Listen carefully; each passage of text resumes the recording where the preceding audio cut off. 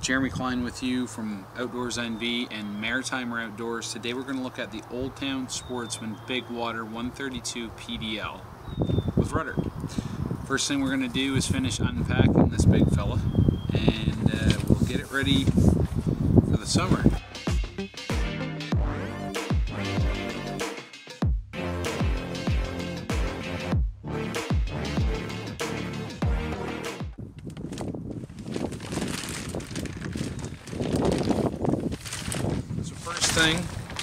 When you unpack your Sportsman. It's going to have that great Sportsman seat.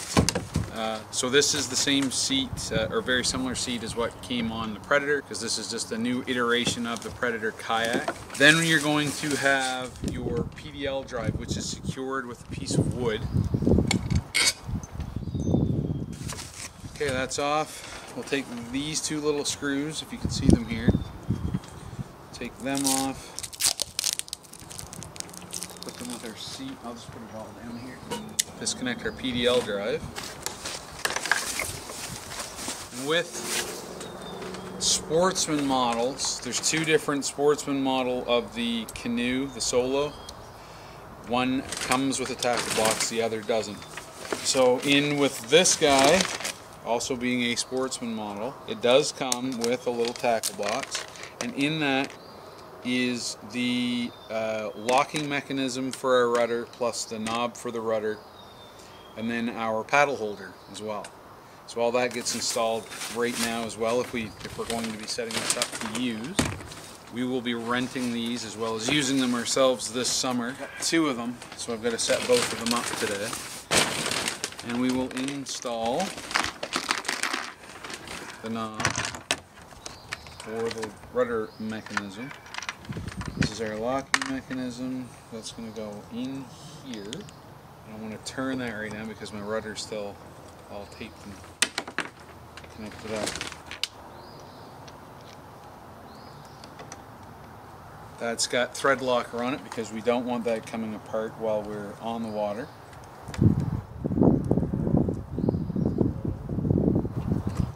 We secure the bottom piece we're going to install the paddle clip. So we're going to install our paddle clip here. This is what it looks like. You can set it up so that your strap opens downward or opens upward. Uh, I'm probably going to do it so it opens upward, I believe. So it's going to look like, see here, be like this. There's two little two little tabs in the back. We will set them in the holes on the back of this, so. And then that's gonna get screwed in into here. So I will screw that in right now. Okay, so actually let's take the rudder get it all set up as well. So I'm just disconnecting our box here, just unfolding it, getting the uh, styrofoam out. Put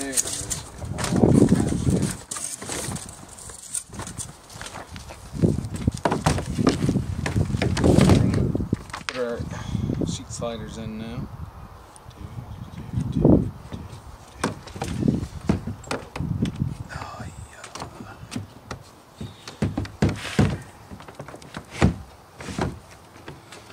Okay. All right, so we'll go over all of the attributes of this boat.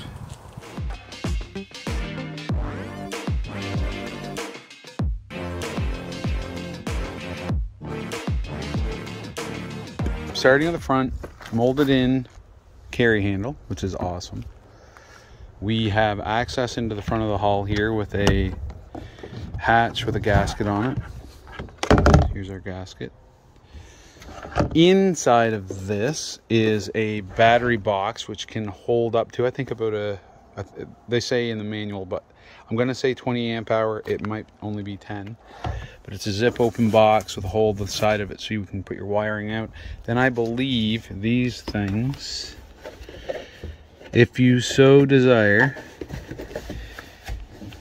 you can do through hull here or you can bring that in and over if you wanted. But I would go through hull underneath this, and if I was gonna, mount uh, my fish finder on that. This is our PDL drive uh, pole or bracket that allows us to slide to rotate the PDL drive up into an unlocked position or up into a stored position or down into the hull to be used for propulsion. We have removable accessory plates here. The new version, the Sportsman version, they're machined to accept normal, like low profile track attachments like the Yak Attack, uh, Scotty, those sort of things. We have our bracket for our drive for the stowed and the propulsion uh, locations. We have, uh, I think it's, uh, I forget what it's called, EPDA foam, foam for your standing platform anyway. Storage pockets, which I do believe, I could be wrong, but I think those fit down in there. No, they don't. I'm incorrect. I thought they did. But you can you can buy smaller tackle boxes that will fit down in there. Uh, we also have the other accessory plate on the left hand side. Carry handles, midships, left and right, port and starboard, cup holders, scuppers forward, scuppers in the tank well. Little opening here. We could go down through with your transducer through the opening on that if you so desire. Moving back, flush mount rod holder to the right of the seat. Flush mount rod holders behind the seat on the left and the right. Your rudder deployment handle here, and this is your rudder control knob over here. Behind the seat we have two more accessory plates that are removable that have been pre-drilled out. There is a location here if you want to put a hatch in to access in through the stern. The newer models also come uh, pre-set up if you wanted to put a shallow water uh, anchor mount like the power pole which we we have on our sportsman uh, autopilot 136 you can mount that there. I'm not sure how that works with the rudder. I'm pretty sure it's harder with that with that in with that installed. Your your stowed location straight up, I think, if memory serves me like that. But that is a location for that shallow water anchor. We have another molded in handle underneath the stern here. Your rudder yoke and assembly. Under the seat we have access into the hull and this is where if I was to put electronics this is where I would put my 50 amp hour batteries down in here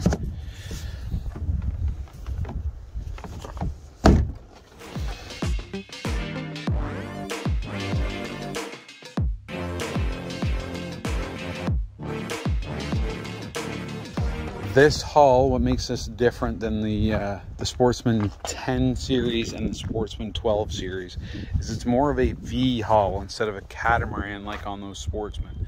So you can see on the bottom of this Sportsman, the hull shape is very conducive to initial stability or stability in flat water.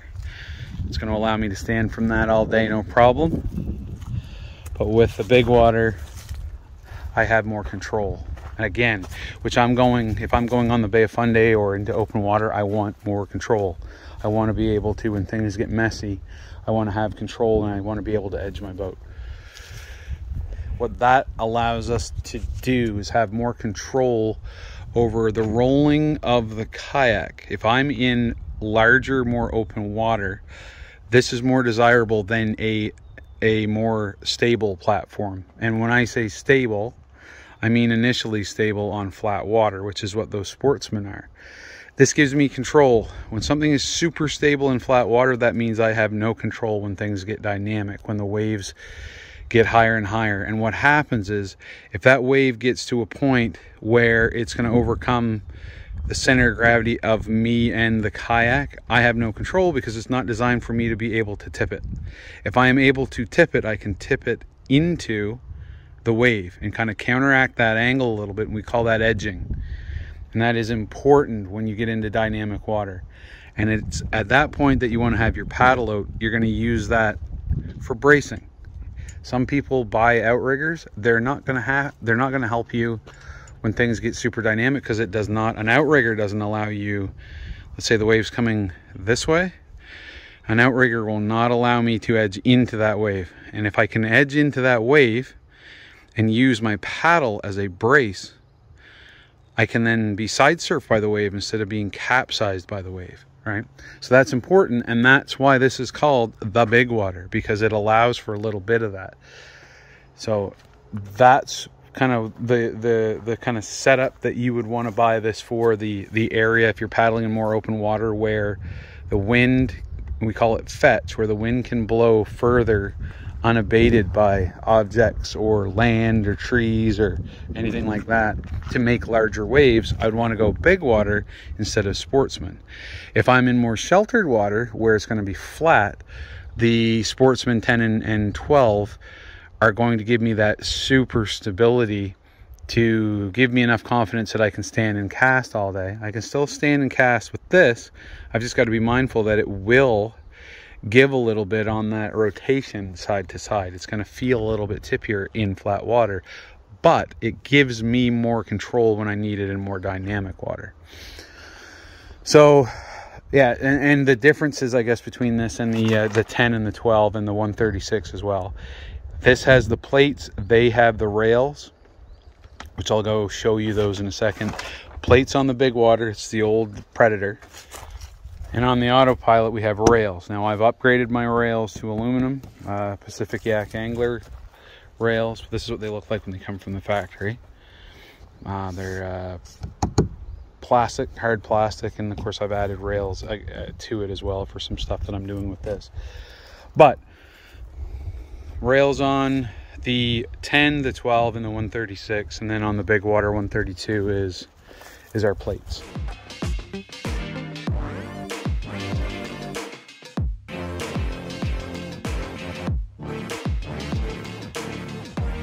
Now the big water comes in three color patterns. I have selected this one being what's called marsh camo because i'm going to use this for duck hunting and it will allow me with the, the pedal drive it's going to allow me to jump shoot far more effectively because I can have both hands free. I can lock this rudder tiller in place uh, straight ahead if I want or if I want to do circles or something. But what I found with my uh, solo sportsman is if I wanted if, I, if I'm sneaking up on something it's very difficult for me to paddle up and then switch to my gun. I have done it successfully, but this allows me to pedal with my feet and I can have that gun in my hand, which is legal here. And it, you, you want to check your regulations in whatever state or province you're in. But here, as long as it's not motorized, it's, if it's human powered, I can do that. So I can paddle up to the waterfowl that I'm stalking have the, the bead on the waterfowl as I paddle. So if it starts to take flight, if I'm close enough, I can do the deed. So I have selected this for waterfowling and I am complementing it as well, depending on where I'm going, with my solo sportsman discovery also in marsh camo. And I am very happy that Old Town has created this camo pattern because it works very well for waterfowling and for hunting. Except I wish this was maybe maybe a brown instead of orange, but that's not a huge deal. Ducks really don't like black. Um, so that, you know, that's not a big deal. And I have a blind I put on this anyway. So we have two of the big waters for, for renting out and for, for guiding, kayak, uh, kayak angler guiding, I guess. And then I've got the 136 for myself as well, for when I am guide fishing or whatever. So to kind of wrap up, I would, if I was looking at buying a fishing kayak or a hunting kayak, I would use this in more open water or uh, for applications where I want to have hands free waterfowl being the very best example of that. So this gives me options as well for fishing. Like I said, I can mount electronics. I can mount for trolling here forward of my seat. You can switch out these handles to the Navarre handles, which gives you another mounting location for electronics or for for fishing stuff. And then you've got rod storage again times three, and then more capabilities back here to put mounts on. And they come, like I said, the big water comes with the tackle box as well, which gives me three of those now because I've got two big waters in the Solo. Actually four because of the uh, autopilot. So one of the things I neglected to mention uh, in the outside portion of the video uh, with regards to why I selected the big water, and it's a big one, and it's one that you should really consider when buying uh, your fishing kayak, hunting kayak, recreational kayak, is the fact that a pedal drive kayak is a little bit more versatile than, for sure, a paddle driven kayak itself for the very reason that with the pedal drive system, I can put a paddle plug console into the hole with the Old Town kayaks and I can paddle it. Or I can leave that pedal drive in, retract it, and paddle it and have less drag. Or I can pedal it and paddle it. And on top of all of that, I can add a motor to my pedal drive kayak. Now, there are a bunch of manufacturers, Bixpy, Torqeedo are a few, and no, I can't say it properly, but Nokio. Uh, there's there's there's a bunch of different manufacturers that make a an electric trolling style motor drive that attaches at the back of the kayak. Some attach to the existing rudder. Some replace the existing rudder with their own rudder with the pod attached to it. The wires run up into the hull, and then you install a battery and, and power it that way. And Old Town also makes their own solution in something called the Predator Double Block Motor Mount. It's a 38 inch uh, spread motor mount that is designed for the Predator. And as I said earlier in the video, thus the big water because they are the same hull. That attaches to the accessory plates in the stern tank well of the kayak and provides you with essentially a transom style motor mount just off the side of the kayak. And you can install any transom style trolling motor to that plate, which gives you the ultimate versatility. I know guys that we've sold in the past, Predators and Big Waters too, that have done this. Uh, and that that old town bracket just gives you a very clean looking installation for that motor mount. So there's guys that are, are doing this, and the reason you'd want to do this is you make your kayak even faster. So now you're pedaling, you're using the motor, and you can paddle all at the same time. Three inputs. Uh, so you're essentially doubling your horsepower, which will give you a couple more knots of, of hull speed. Uh, guys are seeing anywhere from seven to nine miles an hour uh, over the water with the, the two, the, the pedal drive and the motor being engaged. Uh, and this is very important for kayak angling tournaments where, where this is allowed using more than one uh, propulsion method the very same that having the fastest bass boat in a bass boat tournament is. You get to your location that you've, in theory, pre-fished previously and know the fish are there. It gets you there first. So then those guys, depending on the rules of your tournament, have to give you the space around your boat. If you can get in prime location first, you have that location. So if you're using your kayak for things like that, it's just something to seriously consider the uh, the Sportsman 10.6, the 120, the Salty, and the Big Water PDL all give you that capability. Now, the Big Water is the only one that will accept that uh, motor mount because it's made for the Predator.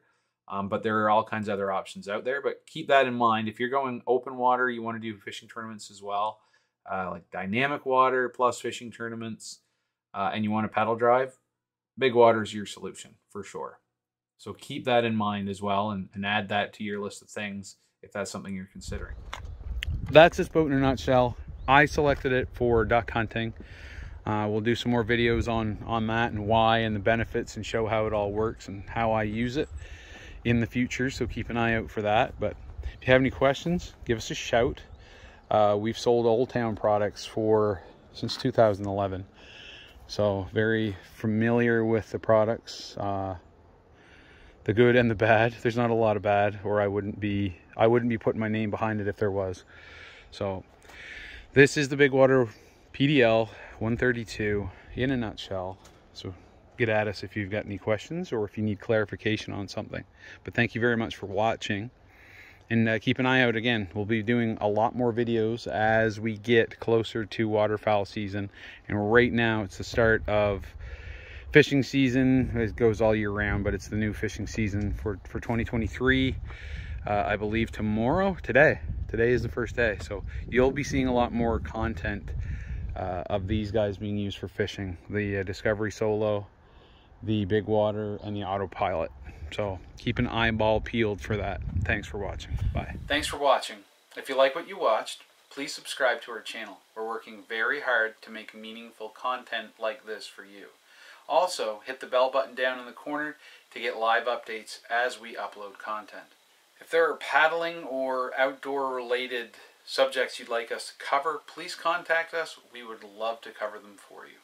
And if you're looking for really cool outdoor and paddling related pictures, please check out our Instagram feed and subscribe there too if you like what you see. Thank you very much. Bye.